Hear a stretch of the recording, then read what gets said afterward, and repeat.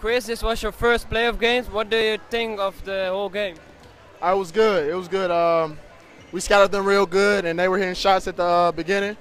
And we knew they weren't going to shoot like that the whole game, so uh, we stick to the game plan. The crowd was into it. It gave us energy, and we came out with a win. Were you nervous before the game?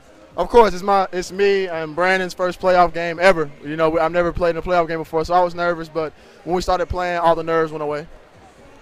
Ah, Kees, de winst te pakken na een sterke tweede helft. Hoe belangrijk is zo'n eerste overwinning in de play-offs? Uh, ja, belangrijk. Uh, het is gewoon uh, van belang dat we ons thuisvoordeel houden.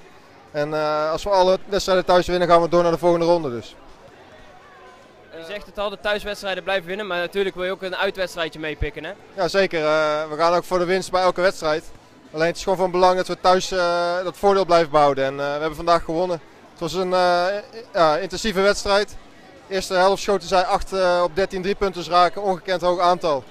We moesten in de tweede helft meer druk op de bal zetten bij de pick-and-roll situatie en toen uh, lukte het. Ja, de, de, eerste helft schoten heel veel driepunters inderdaad, maar ook heel veel turnovers. Daar hebben jullie toch wel goed van kunnen profiteren. Ja, dat klopt. Daardoor uh, bleven we in de wedstrijd. Want uh, ja, ze hebben 41 punten gescoord en dat is te veel naar onze maatstaven. Volgende wedstrijd moeten we daar beter op letten. Dankjewel.